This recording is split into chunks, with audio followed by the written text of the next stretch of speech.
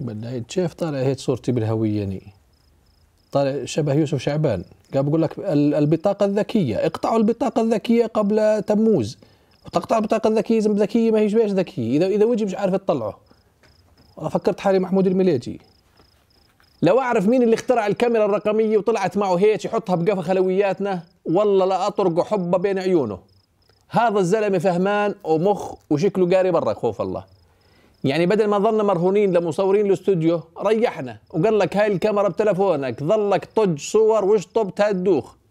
وعلى رأي المثل كاميرتك بموبايلك وبدناش جمايلك. منين جبت المثل هذا؟ داري يلا مش مشكلة. زمان قبل ما يطلع الخلويات وصرعة الصور والبكسل وما بكسل وعلى الصور اللي عندي بالدراج بتفرج على حالي ليش باقي هيك يعني؟ حاس حالي فار من وجه العدالة. حتى كل الشباب أخوتي وأصحابي بتطلع صورهم اللي بالاستوديو ولا اللي بهوياتهم بتحسهم مطلوبين للإنتربول الدولي. مجحرين ومشرتحين. هيك قايلين. بتحس اللي مصوره شرطي يا بحث جنائي مش مصور محترف. إحنا لو إيش كنا نروح على استوديو التصوير أصلا؟ التصوير كان ينقسم قسمين. معاملات رسمية زي الهوية اللي ورجيناكم هسه وهاي وتطمينات وأشواق. المعاملات الرسمية هويات جوازات سفر بطاقات تأمين صحي تقديم للجامعات اللي برا. وهاي كل الصور بتطلع شبه بعض. يعني اللي من الرمثة واللي من الطفيلة تقول أخوة.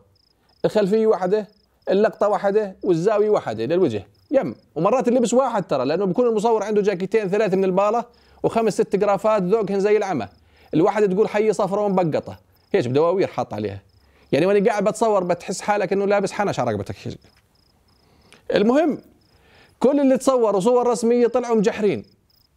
جوزتهم هاي بتلمع. رياقهم ناشفة. صلوحهم بلصف من العرق لأنه حاط لك كشافات. شوف كشافات. فرن تقول فرن بده يعمل كفته الأخ. غير الخرفة الضيقة هاي اللي بتخوف.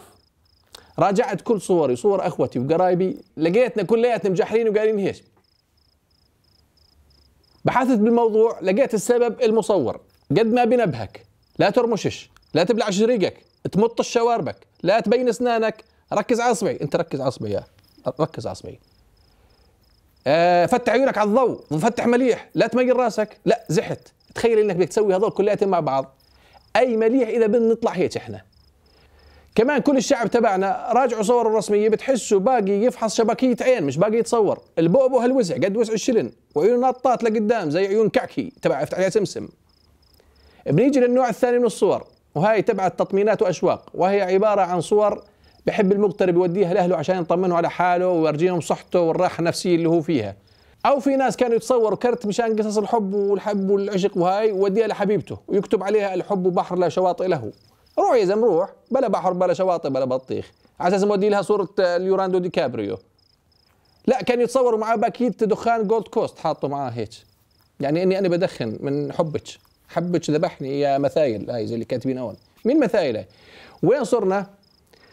المهم يوم كان يروح واحد بده يتصور صورة تطمينات والأشواق الكرت الكبير هذا. بيسأل المصور لمين بدك توديها؟ يا زلمة أنت شو بدك فيه؟ لمين بده يوديها؟ هو حر يعني. إن شاء الله لمجلس الأمن. شغلتك هاي؟ شغلتك؟ بعدين برجع بسأله واقف ولا قاعد؟ جانبي ولا وجه لوجه؟ أطلعك طاعج رجلك ولا مقرمز؟ يا رجل بدي صورة حلوة للذكرى إن شاء الله بتصورني وأني أقول لك بديش أحكيها.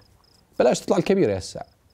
طبعا الخلفيات المتعارف عليها بصور الكرت هذا الكبير معروفة واحدة من ثلاث.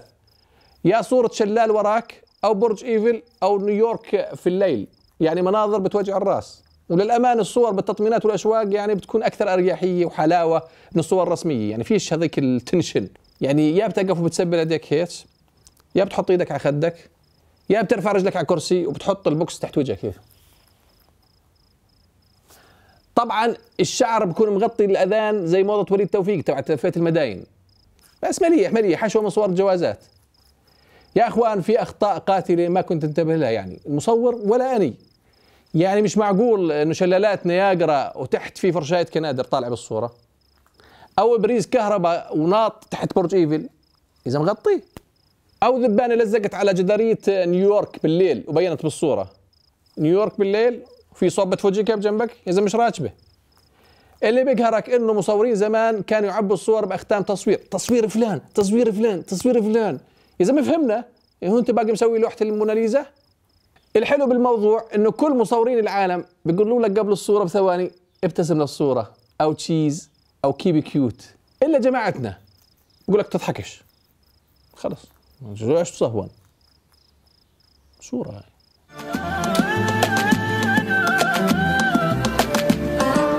يا مصور صورني وكبر لي هالصورة.